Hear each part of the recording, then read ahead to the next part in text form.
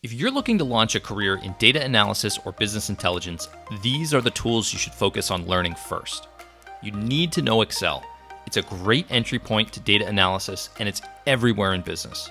Focus on formulas, pivot tables, data visualization, and dashboard design. Next, unlock the power of relational databases by learning SQL.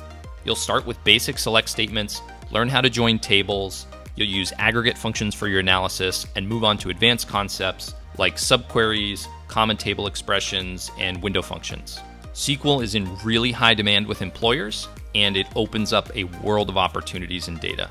After that, pick up one of the popular self service business intelligence tools like Power BI or Tableau and transform your data into actionable insights. These tools will help you become a data storyteller, and you'll learn to use data visualization to advocate for improvement in the businesses that you're working on. Finally, you should consider learning Python one of the most in demand job skills for careers in data analysis, data science, and data engineering. If you want a career in data, these are the exact tools that you should focus on first.